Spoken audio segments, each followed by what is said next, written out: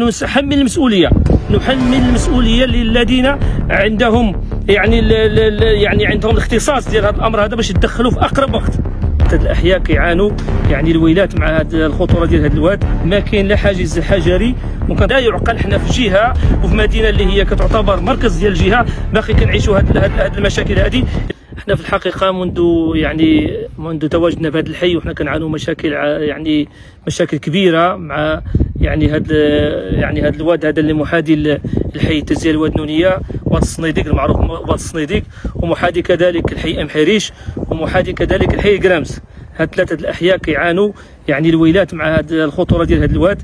أول مشكل عندنا واللي هو اللي هو مشكل كبير وكيشكل خطر على على حياة الأبناء ديالنا لأنه هذا الواد كما كتشوفوا هنا المسجد ديال عبد الرحمن بن عوف وفيه كتاب قرآني اللي كيقرأ فيه تقريبا حوالي 30 طفل ولا ولا 40 طفل. وكنضطروا باش نجو وكان وكنرافقوا التلامذ حتى المنازل ديالهم. يعني الا لاحظتوا دابا الزرقاء فاش كيتواجد الكتاب مقابلة مباشرة لهذا لهذا الواد ديال واد الصنيديق ومع الأسف الشديد ما كاين حتى شي حاجز. وعندنا مشكل آخر اللي هو الناس كتلوح يعني النفايات. والفضلات ديال الماشيه وكيحرقوهم لينا في هذا الواد وكيسبب لنا اختناق وعندنا حالات مرضية. بعض الناس اللي كيعانوا من من الحساسية بسبب احتراق هذه الفضلات هذه وعندنا مشكل ثالث وهو أن الناس ديال الكرامز ملي كيبغوا يجوا للمسجد ديال عبد الرحمن بن عوف كيضطروا باش يهبطوا حتى الواد وكيطلعوا. ما كاينش قنطرة. وكان واحد المرة كان طاح طاح أحد المسنين طاح لينا في الواد هنايا. كما كتشوفوا هنا كتشوفوا يعني هذه القنطرة العشوائية وهذا هذا الدروج يعني غير بعض الساكنة ديال ديال الكرامز الله يجزيهم بخير وبعض المحسنين هما اللي كانوا تطوعوا في واحد الوقت وداروها يعني غير يدوية. باش يسهلوا المامورية على الوليدات باش يدوزوا يمشوا للمدرسة ويمشوا للمسجد. وهذا وهذا الشيء راه اليوم كيأرقنا وكيأرق الساكنة بزاف. وكتشوفوا هنا النفايات اللي هي ديال الفضلات ديال الماشية هي كتلاحى هي في هذه البلاصة هذه ومع الأسف الشديد هذا الشيء كي كيأرقنا وكيأرق الساكنة. وحنا كنادوا كنبهوا الخطورة ديال هذا المشكل خصوصا المشكل ديال شبح سقوط الأطفال في هذا في هذا الواد.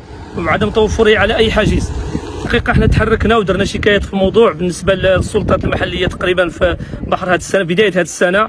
وكذلك السلطات المنتخبة وخرجوا بواحد اللجنة وجا السيد القائد وجا النائب ديال الرئيس النائب رئيس البلدية وحضروا وعاينوا هذا المشكل ولكن إلى حد الآن ما كاين حتى شي حاجة. كنلتمسوا من المجلس البلدي وكنلتمسوا كذلك من الجهة من المجلس الإقليمي باعتبارهم سلطات منتخبه باش يخرجوا إلى إلى إلى إلى حيز الوجود المشروع ديال تغطية هذا الواد. رسالتي كذلك موجهه للسيد الوالي باعتباره هو اللي كيمثل السلطه التنفيذيه في الإقليم يعطي التعليمات ديالو السلطات المنتخبة السلطات السلطات المحلية باش تبادر وتخرج لنا يعني هذا هذا المشروع هذا الحيز الوجود وتحمي لنا وتسجر كاين واحد كنطالبوا بالزجر ديال هاد الناس اللي كيرموا النفايات في هاد في هاد الواد واللي كيحرقوا بالليل كيجوا متسللين بالليل وكيحرقوا النفايات ديال الماشية.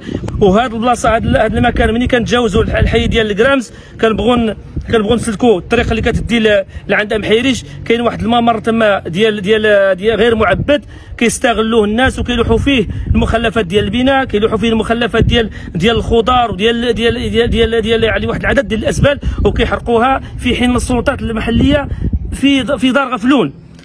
وكيف كتشوفوا يعني البلون اللي كان تقريبا هذه التزيئه بدات في 2014 والبلون اللي كان في هذه الجنبات ديال التزيئه ما بينها مع واد الصنيديق هو كان مقرر باش تكون مساحة خضراء. واغلب ديال ديال الساكنه اللي شراو في التزيئه مثلا ولا كذا يعني كانوا كيشوفوا هذاك ال plan بانه مساحه خضراء ومتنفس ديال الوليدات ديالهم. وحنا اليوم من 2014 حتى تقريبا 10 سنوات هذه حتى 2024 ولا شيء يعني ما تغير حتى شي حاجة بالعكس تحول لنا هذا هذا الممر اللي بيننا مع الوادي إلى واحد المكان كي كي كي كي كي كيكونوا فيه واحد العدد ديال المنحرفين يعني وما فيش ما فيش إنارة ما فيش إنارة وكيخلق لنا وكيأرق لنا وكيخلق لنا مشكل وأصبح أصبح مكان كيترموا فيه الأزبال وكيتحرقوا فيه الأزبال.